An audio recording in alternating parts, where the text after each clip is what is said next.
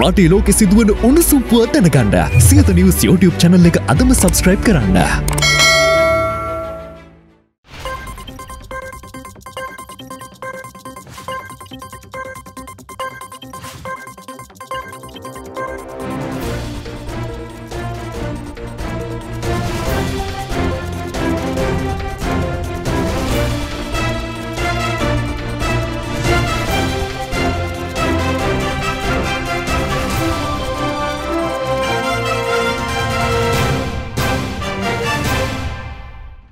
ආයිබෝවන් සැමට කලින් සත්‍ය හරියටම ඔබට කියන සියත උදෑසන ප්‍රවෘත්ති විකාශයයි මෙලෙසින් ආරම්භ වන්නේ.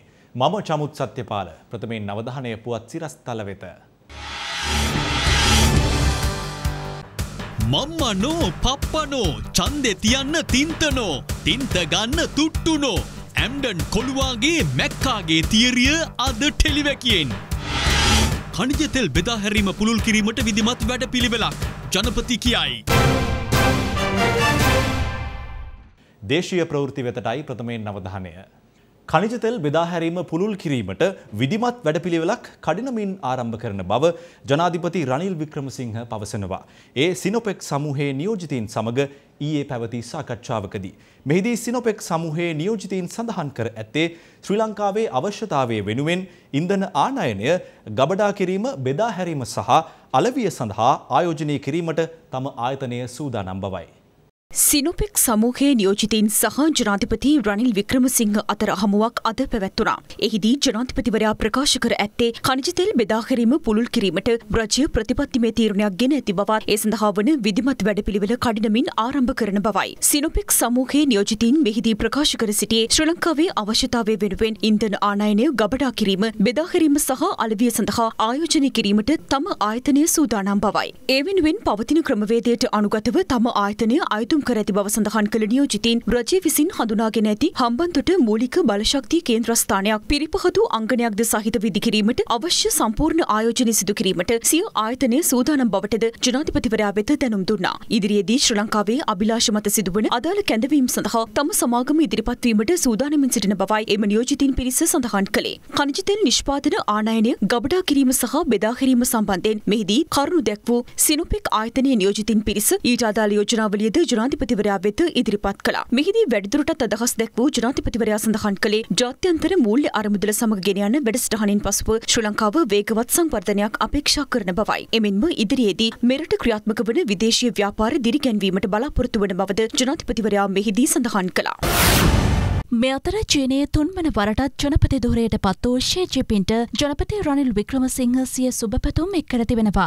ජාත්‍යන්තර මූල්‍ය අරමුදලෙන් මෙරටට ණය ලබා ගැනීමේදී චීනය ලබා දෙන සහයෝගය අගය කරන බවයි ජනපති රනිල් වික්‍රමසිංහ සිය සුභපැතුම් පණිවිඩයේ සඳහන් කර ඇත්තේ. එසේම දෙරටේ සහයෝගීතාවය චීන ජනාධිපතිවරයාගේ නව දෝරකාලය තුළ තව දුරටත් ශක්තිමත්ව වර්ධනය වනු ඇති බවට තමන් විශ්වාසය පල කරන බවයි ජනාධිපතිවරයා සිය සුභපැතුම් පණිවිඩේ වැඩ වැඩදුරටත් සඳහන් කර ඇත්තේ.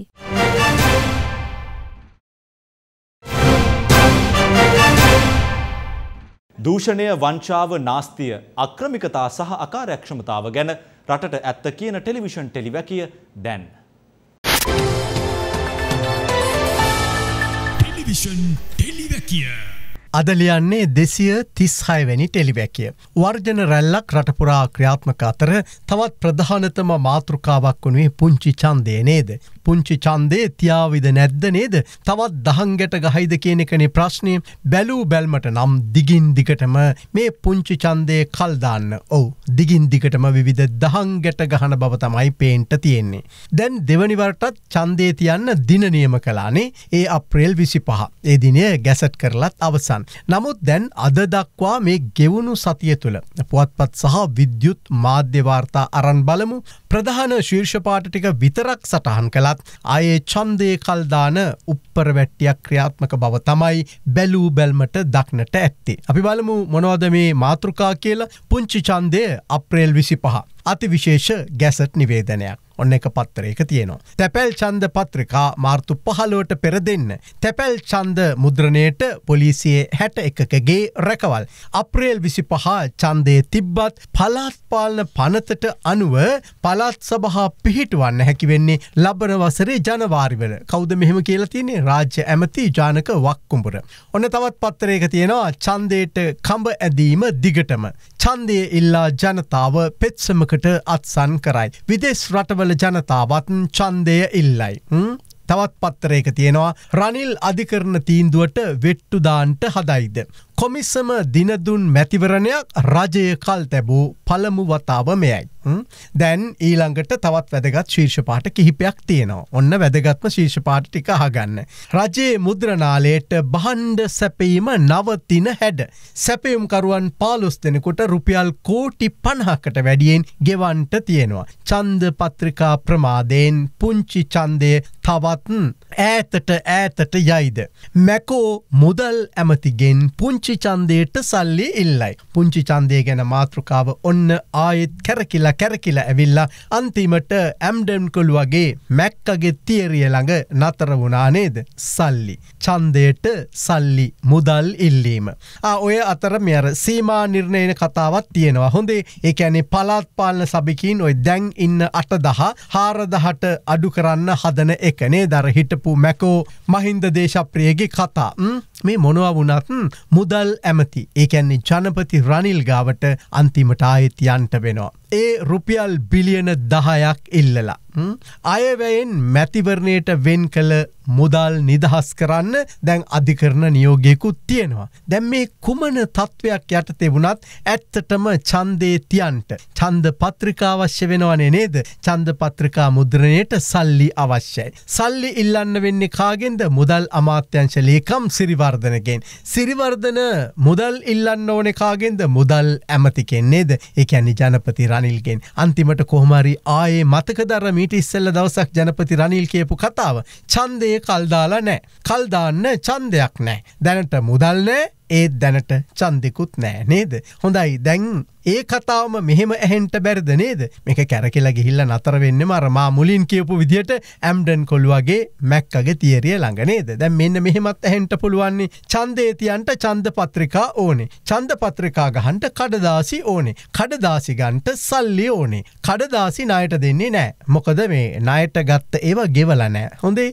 චන්දේ තිබ්බත් ගැසට් කරලා තිබ්බත් කඩදාසි නැත්තම් චන්දේ නෑ නේද? කඩදාසි නැත්තම් චන්දේ නෑ. එහෙමත් කියන්න පුළුවන්නේ නේද? ඇයිද මෙහෙමත් වෙන්න පුළුවන්නේ? කඩදාසිත් තියෙනවා. හොඳේ. නමුත් කඩදාසි තිබ්බට කොහොමද? චන්දපත්‍රකා මුද්‍රණය කරන්නේ? මුද්‍රණය කරන්නට තීන්ත ඕනේ. තීන්ත නැතිව කඩදාසි තිබිල වැඩක් නෑනෙ නේද?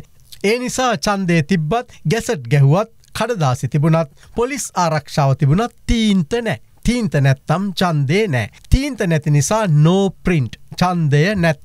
මම්මනෝ අපපනෝ චන්දෙතියන්ට තීන්තනෝ තීන්ත ගණ්ඩ තුට්ටුනෝ නේද. දැන් ඉතිං අදහෙට විදායකය රටට එහෙම කිව්වොත් පුදුමුවෙන්ට එපා හොඳේ මොකද මේ අප මුහුණ දෙමින් සිටින්නේ අතිශය ක්‍රූරතර යුගයකටයි. අර තිස් පහේ එක විදායක ජනපතිගේ බලතලවලටයි. තිස් පහේ එක විදායක ජනපතිගේ බලතලවලට අභියෝග කරන්න බැරිතරමට ආණ්ඩු ක්‍රම ව්‍යවස්ථාවෙන් මේ විදායකයට බලතලදීලා තියෙනවා. වත්මන් ජනපති අද බුක්තිවිදින්ට හදන්නේ ඒ විදහයක ඇති අසීමිත බලයයි. ගරු අධිකරණයේ පවා යටකරගෙන මේ හදන්නේ සමස්ත රටේම ප්‍රජාතන්ත්‍රවාදය වල පල්ලට යවන්න. නමුත් ඔය කවුරුකවුරුත් තව එකක් මතකතියා ගන්ට ඕනේ හොඳේ ආණ්ඩු ක්‍රම ව්‍යවස්ථා අර්ථ නිරූපණය කිරීමේ අයිතිය තියෙන්නේ ගරු ශ්‍රේෂ්ඨාධිකරණයට බව. හොඳේ දැන් සැබෑ ප්‍රජාතන්ත්‍රවාදය ක්‍රියාත්මක වෙන්න නම්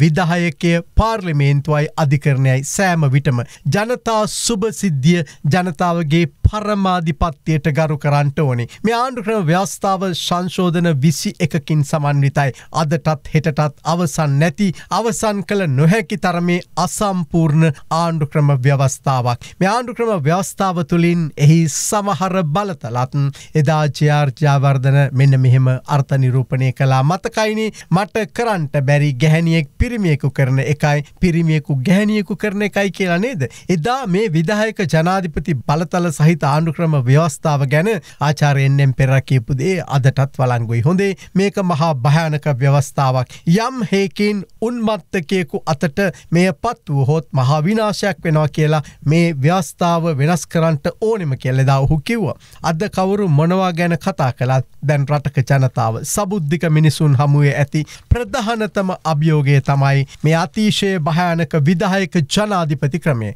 තනතුර දරණතාක් ගරු අධිකරණයට ගෙන කොස් ප්‍රශ්න කරන්න බැරි නීතියටත් ඉහලින් ඇති මේ මහා බලය. ඇමරිකාවේ ජනපති ජෝ බයිඩන්ටවත් ප්‍රංශ ජනපති එම්මානුවල් මැක්රෝන්ටවත් නැති බව අද ටෙලිවැකිය යළි අවධාරණය කරනවා. ඒකාධිපති විදාහයකයට යටත් නැති සවිඤ්ඥානික පුරවැසි බලයක් නිර්වාණය කිරීම සැමගේ වගකීමක් හිතුකමක්. රටක උත්තරීතර විය යුත්තේ නීතියයි අධිකරණයයි. ඒ සඳහායි මේ සටන.